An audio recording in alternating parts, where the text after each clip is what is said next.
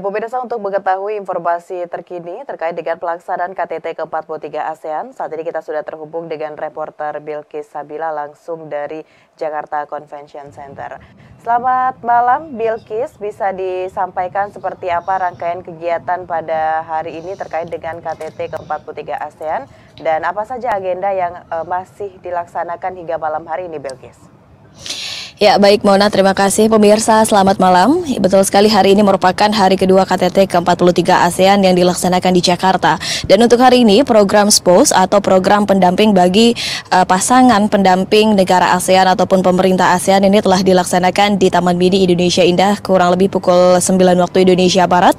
Dan dapat kami laporkan bahwa Ibu Iriana Joko Widodo ini memimpin jalannya uh, pertemuan tersebut dan beliau memang mengenalkan Indonesia dengan uh, Taman Mini Indonesia Indah yang dengan wajah yang baru. Kemudian juga memang sejumlah penampilan ini menghiasi jalannya uh, acara SPOS dengan menampilkan tari-tarian dari budaya Betawi, kemudian juga diadakannya uh, tari uh, diadakannya pertunjukan pencak silat begitu dan juga adanya pemutaran film pendek dan juga pengenalan UMKM dari Indonesia. Dalam sambutannya Ibu Iriana memang menegaskan bahwa Taman Mini Indonesia ini merupakan uh, miniatur kecil dari provinsi dan juga kepulauan yang ada di Indonesia.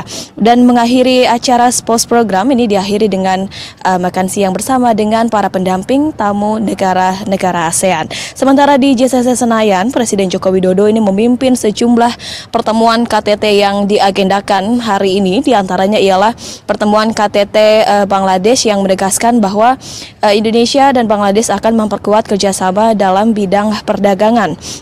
Sementara itu, Presiden Joko Widodo setelahnya dijadwalkan untuk memimpin uh, eh, KTT ke 26 antara Indonesia dan juga uh, eh, RRC dan oleh para pemimpin negara ASEAN yang lainnya. Dan juga secara berurutan Presiden Joko Widodo ini memimpin KTT ke 24 uh, Republik Korea dan juga dihadiri oleh uh, negara Jepang yang pada akhirnya ASEAN dan Jepang ini sepakat untuk membentuk kemitraan yang komprehensif mengenai hal-hal uh, uh, yang dapat menguntungkan satu sama lain negara tersebut. Sementara untuk uh, Korea Selatan, Korea Selatan ini memberi dukungan yang sentralitas ASEAN dan juga tentunya untuk memperkuat kerjasama yang strategis dalam penjajakan kerjasama bidang infrastruktur digital dan juga tentunya dalam perubahan iklim. Dan pada siang hari Presiden Joko Widodo bersama dengan delegasi negara ASEAN ini uh, menghasilkan uh, dalam ASEAN Plus 3 menghasilkan bahwa menghargai dukungan yang diberikan oleh RRT kemudian Korea dan juga Jepang Jepang untuk mengembangkan ekosistem electronic vehicle uh, dan juga Asian Indo-Pacific dan di sela-sela pertemuan Presiden Joko Widodo ini juga mengadakan uh, pertemuan dengan wakil Presiden Amerika Serikat yakni Kamala Harris dan selanjutnya Presiden Joko Widodo ikut uh, dalam KTT US yang ke-11. Presiden Joko Widodo kemudian melanjutkan agendanya dengan uh, mengadakan menghadir menghadiri maksud kami KTT Asian dengan Kanada yang menghasilkan bahwa PM Kanada akan uh, melakukan dan meningkatkan keterlibatannya dalam jangka panjang dengan negara ASEAN dan dengan kehadiran negara Kanada yang aktif. Kemudian Mona dan juga pemirsa Presiden Joko Widodo memang sebelumnya telah mempersiapkan gala dinner yang akan dilakukan pada malam hari ini dalam rangka pertemuan KTT ke-43 ASEAN di Senayan, Kota Jakarta dan juru masak Arnold Purnomo juga memang mengkonfirmasi bahwa hidangan yang akan disajikan kepada kepada para tamu delegasi ini bertemakan uh, Nusantara Forest begitu. Meskipun memang temanya Nusantara namun ini akan menghadirkan hidangan makanan tidak hanya dari Indonesia saja namun juga uh, menghadirkan uh, makanan western begitu. Kemudian uh, para chef yang bekerja ini berharap tentunya bahwa melalui masakan Indonesia ini dapat diterima baik oleh para delegasi dan tentunya dapat menimbulkan uh, impresif yang baik bagi para tamu undangan. Dan uh, gala dinner sendiri ini akan menampilkan tari-tarian tradisional dan akan diisi oleh uh, artis papan atas seperti Yura Yunita dan juga Afgan yang akan mengisi dan juga memeriahkan acara gala dinner KTT ke-43 ASEAN.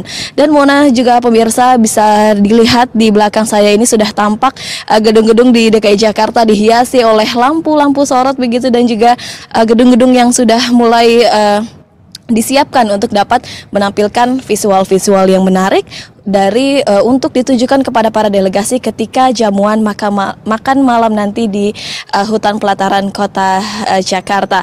Kita tentunya masih menunggu bersama seperti apa jalannya uh, gala dinner KTT ke-43 ASEAN. Pemirsa juga dapat menyaksikan langsung dari uh, YouTube Sekretariat Presiden dan kami hanya bisa melaporkan sampai saat itu Mona. Terima kasih. Baik, berbagai pertemuan dilaksanakan di Jakarta Convention Center dan menghasilkan uh, keputusan untuk meningkatkan uh, kawasan ASEAN serta di Taman Mini Indonesia Indah adanya pelaksanaan sports program dan malam ini akan dilakukan gala dinner terkait dengan pelaksanaan KTT ke-43 ASEAN. Bilkis, terima kasih untuk uh, laporan Anda. Selamat kembali bertugas. Selamat malam, Bilkis. Pemirsa itulah ragam informasi yang telah kami rangkum untuk Anda. Dapatkan update berita pilihan setiap harinya. Saya Mona Azari Desak dan segenap kru yang bertugas mengucapkan terima kasih atas partisipasi Anda. Selamat malam dan sampai jumpa.